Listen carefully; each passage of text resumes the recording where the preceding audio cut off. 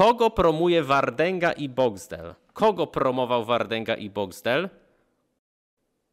Uf, dobrze, że nie ukradł logo Sowy, tylko jest recydywistą. Dostał kampanię PR-ową na 400 tysięcy wyświetleń obok najpopularniejszych twórców. Okay. Dobrze, oglądajmy. Użytko...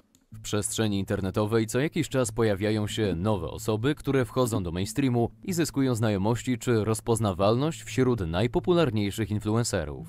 Taki debiut zaliczył ostatnio Psychotrop, a to wszystko dzięki zaproszeniu do aferek z Boxdelem i Wardęgą na czele. Dzisiaj y, gośćmi Podoba mi się start narracji. Został zaproszony do y, aferek z Boxdelem i Wardęgą na czele. Jestem ciekaw, gdzie się pojawi chociaż raz informacja, że ja byłem drugim gościem, a nie, że to jest mój kanał. Bo to nie jest mój kanał, to jest kanał Boxdela i Ulfika. jest oczywiście Sylwester Wardęga Dzień dobry. i Psyotro. Z Boxdelem i Wardęgą na czele. Dzisiaj y, gośćmi jest oczywiście Sylwester Wardęga Boxdel tu potwie- pod, podkreśla, że jestem gościem. Gośćmi są Wardęga i Psychotrop. Dzień dobry.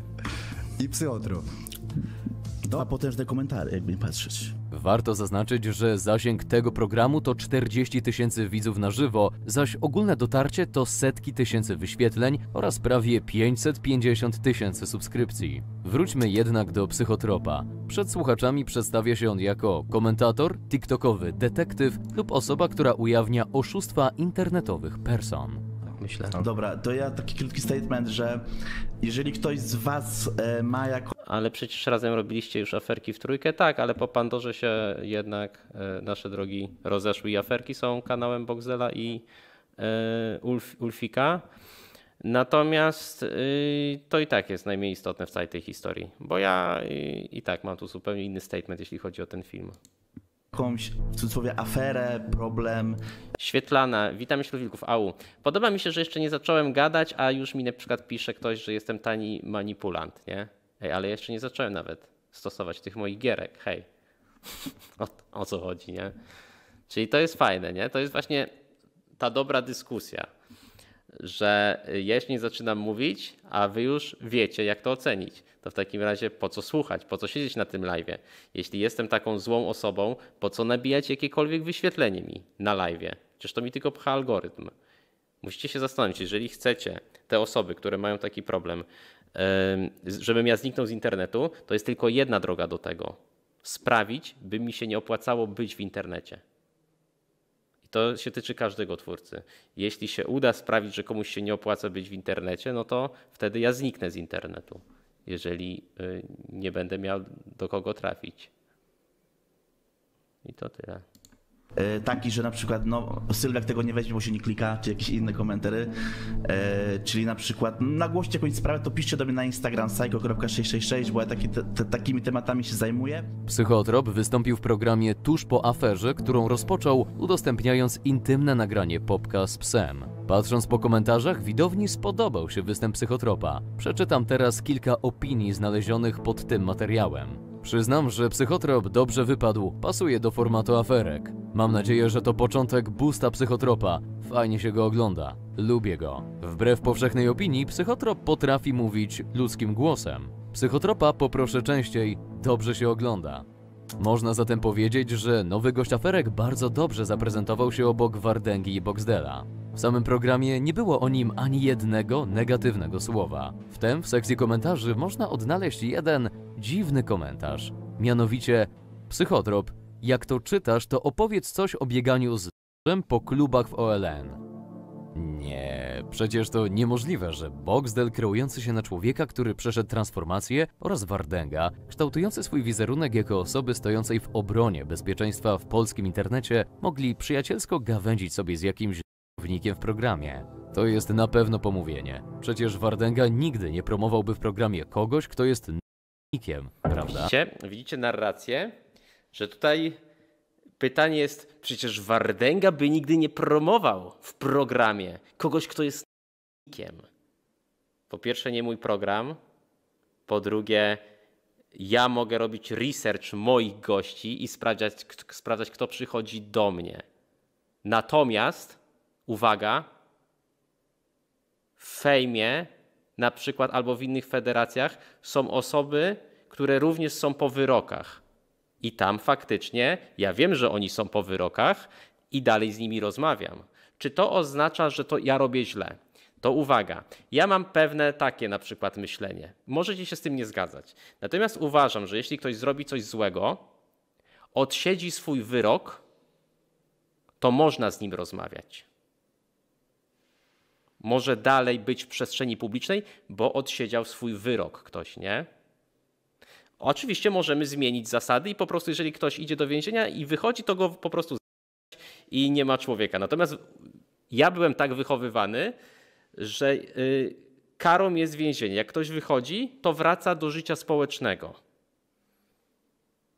Więc jeżeli y, kilka lat temu coś zrobił y, psychotrop i odsiedział karę, no to ja go do swoich programów nie zapraszam. Natomiast byłem gościem w programie Boxdela i szczerze zrobił na mnie dobre wrażenie psychotrop. Natomiast ja nie wiedziałem, czym on się zajmował wcześniej, że był jakimś nikiem i tak dalej. Ja nawet tutaj zadaję mu pytanie, on coś mówi, że w jakichś filmach dla dorosłych e, występował. Ja też o tym nie wiedziałem. A to jest akurat, można powiedzieć, no branża, którą śledzę. Jedną ręką wręcz. E, I też o tym nie wiedziałem, że psychotrop kiedyś nagrywał jakieś filmy. Natomiast mam wrażenie, że ten film jest skierowany stricte w moim kierunku. Bo, no zobaczcie, mamy tak, ów, dobrze, że nie ukradł logosowy, tylko jest recydywistą. Dostał, kam- czyli tu jest odnośnie mnie, nie, komentarz, że o, Wersow zrobiłeś dramę, a psychotropowi nie. No bo po pierwsze o psychotropie nie wiedziałem, a po drugie odsiedział swoją karę, nie? Siedział trzy lata w więzieniu. Natomiast czemu na przykład powstał odcinek ten, a nie powstał odcinek, że u Boxdela był Wielki Bu? Bo mnie nie było wtedy obok? Tego zabrakło, żeby powstał odcinek? Nie rozumiem tego, nie? Jeżeli jest taki problem, że ktoś był w więzieniu, odsiedział swój wyrok i ten kanał robi aż o tym odcinek, to czemu nie robi, że na kanapie Cloudu siedziała ta, ta i ta osoba, że w Prime y, siedzi przy stole ta i ta osoba, albo w Fejmie siedzi y, przy stole ta i ta i ta osoba? Przecież większość osób ma jakieś wyroki. I szczerze, ta akcja, y, że kogoś potraktował psychotrop, to nie jest wcale najbardziej taka szokująca akcja, którą zrobiły osoby, y, które krążą wokół freak fightów. A? Jeśli spotykanie się z jest potępiane w internecie, to również ataki z użyciem ostrego narzędzia nie powinny być traktowane jako zwykła wpadka. No i tutaj, skoro jeszcze raz muszę posłuchać tego pięknego zdania. Prawda? Jeśli spotykanie się z jest potępiane w internecie, to również ataki z użyciem ostrego narzędzia nie powinny być traktowane jako Skoro potępiany jest, są takie kontakty z nieletnimi, to y, użycie narzędzia też nie powinno. Po pierwsze, odsiedział swój wyrok, a po drugie, ja nie wiedziałem. Nie będę mówił za Boxdela, czy robił research gościa, natomiast wydaje mi się, że psychotrop był głównie zaproszony dlatego, żeby opowiedział o Popku, skąd miał film, bo to on nagłośnił tą aferę.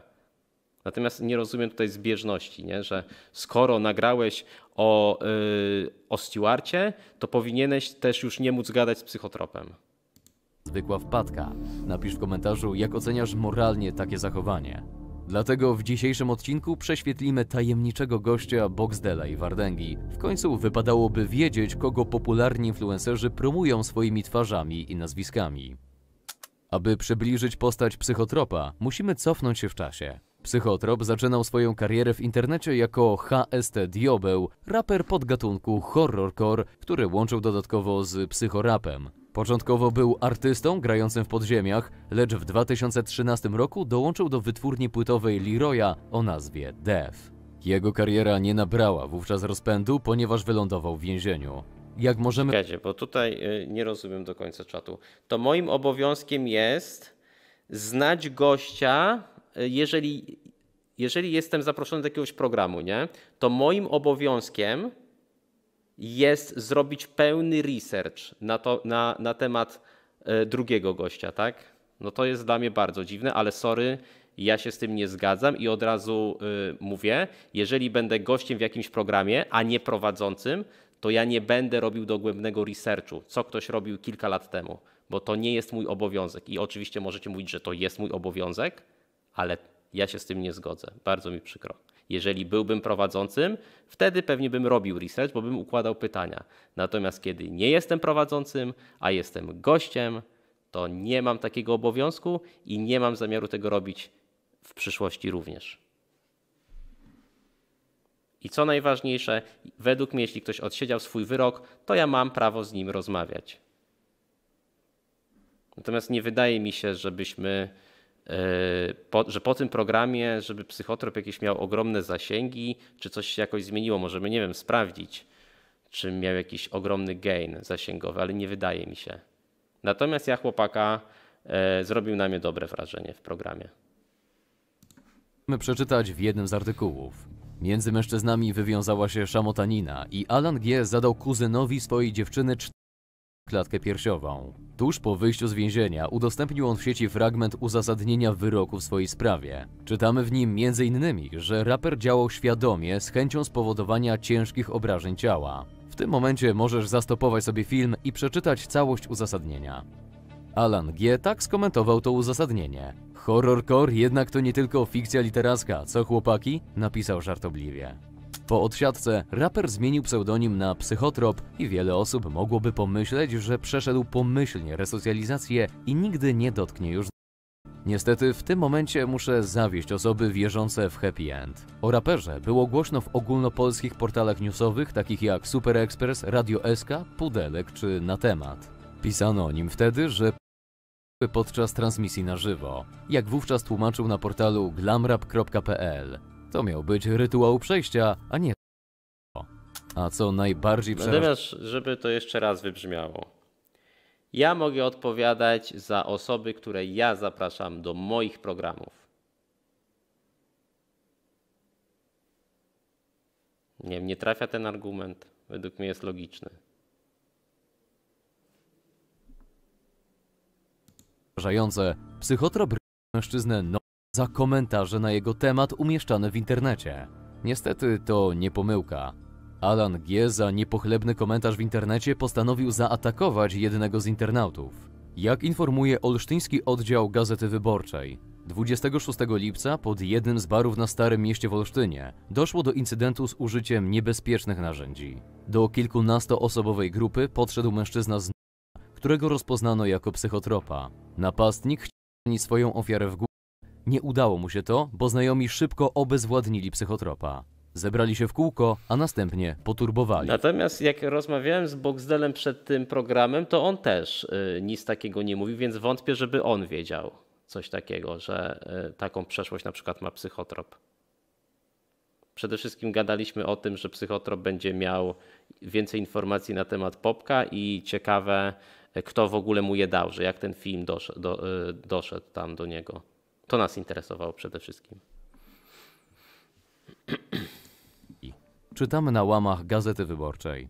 Wezwana na miejsce policja obezwładniła napastnika. 25-latek, który był pod wpływem alkoholu, zaatakował wówczas funkcjonariuszy i został zatrzymany na 48 godzin. Naruszył nietykalność cielesną funkcjonariuszy policji oraz ich znieważył, w związku z czym został zatrzymany, mówi młodsza aspirant Izabela Kołpakowska z Komendy Miejskiej Policji w Olsztynie.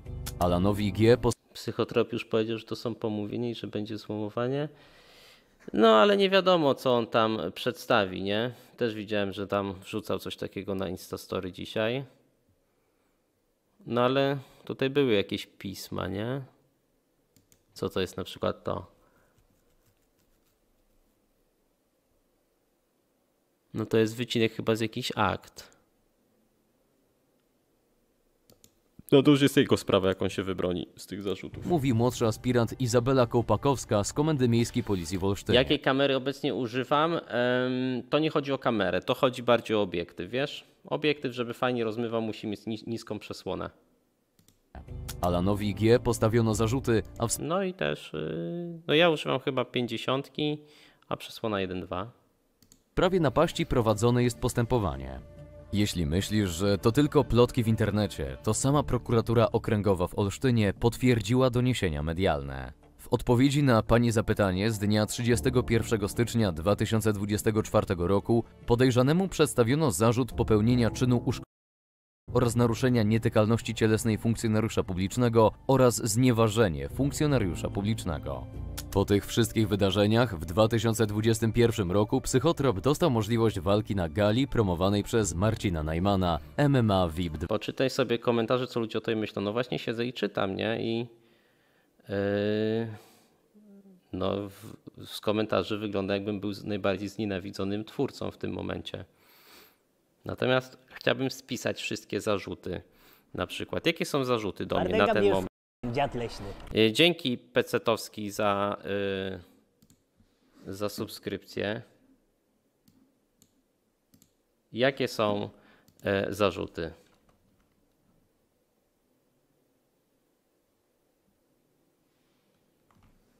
Mm, Nagrał na Boxdela, a to kolega.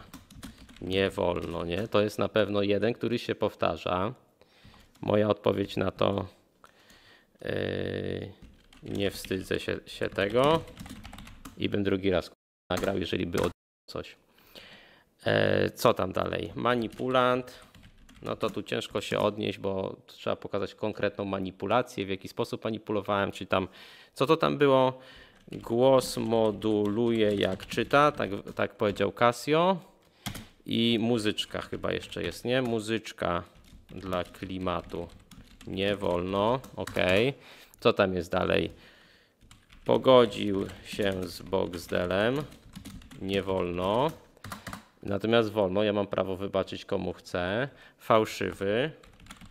Ale tutaj nie rozumiem, bo Boxdelowi mówiłem, jak zakładaliśmy gołców, że jeżeli któryś z was coś boli, każ- każdemu z chłopaków, jak mieliśmy wspólne spotkanie, to ja będę nagrywał, że nie będzie kolesiostwa. Boxdel wiedział, że powstaje taki film, jaki powstaje i Boxdel jakoś pretensji do mnie nie ma, więc ludzie mogą mówić, że fałszywy. No i tutaj handluje Pandorą, mimo że y, powiedział Rozpara, że nie handlowałem Pandorą. Rozpara twierdzi, że y, mówiłem o zasięgach, ja natomiast y, uważam, że nie mówiłem o zasięgach, bo nawet nie potrzebowałem. Bo na przykład e, o kilka procent niższą ofertę w ogóle na start również dostał Konop. I chłopaki podjęli decyzję, że się zgadzają na kwotę, którą podałem za walkę. e, Według mnie od razu. Według mnie od razu. Natomiast y, to wyglądało tak, że e, ja podałem kwotę, Rafał wtedy odpowiedział, że no tak, że może coś mniej, a ja powiedziałem, że nie potrzebuję walczyć, że mam teraz dobry czas i nie, nie, nie mam zamiaru, nie mam ciśnienia na walkę. Chłopaki powiedzieli, że y, chcą przegadać, ja sobie poszedłem do kibla, wróciłem po trzech minutach według mnie i było, że ok.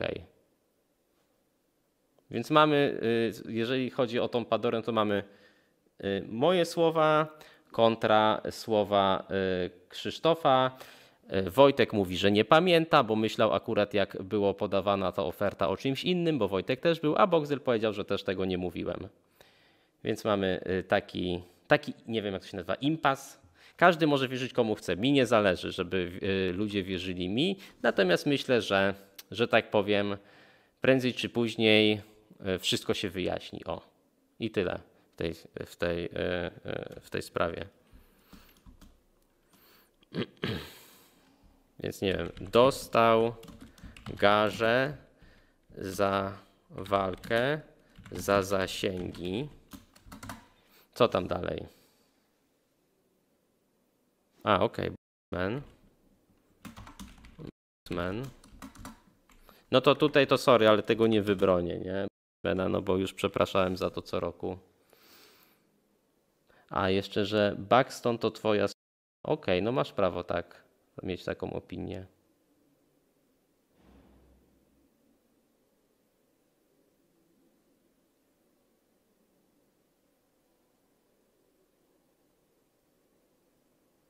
O, jeszcze jakaś łapówka za Pandorę, o to mocne.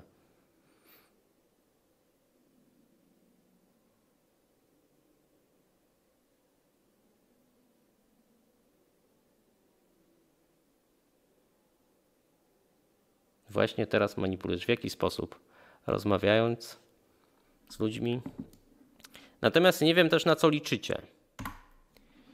Czy liczycie na to, że nagle powiem, o Boże, znikam z internetu. Ja nie uważam, żebym zrobił coś złego. Jest pewien, pewna akcja, która ma za zadanie mnie zdyskredytować w jak największej ilości osób. Dobrze o tym wiem, bo wiedziałem, że to nadchodzi, rozmawiałem z osobami. Podejrzewam, że niebawem się pojawi wywiad z pewną osobą, której bardzo zależy, żeby, do, żeby się jakby wrócić. E, A żeby ta osoba mogła wrócić, to jest zbudowane podłoże, żebym ja był jak najmniej wiarygodny, żeby najlepiej się okazało, że w ogóle cała ta Pandora to było o Boże, e, jedno wielkie kłamstwo. Ludzie tego chcą pewni. No i według mnie im się nie uda, bo yy, no jaka jest prawda, to chyba ludzie widzą. Ale ciekawie mi się to obserwuje, nie? Ale ja nie wiem ogólnie, czego, czego te osoby oczekują, że ja nie wiem, zniknę z internetu, bo teraz będzie kilka jakichś tam nieprzychylnych komentarzy. Niech tych komentarzy będzie tysiąc, niech będzie sto tysięcy. To to dalej są komentarze w internecie.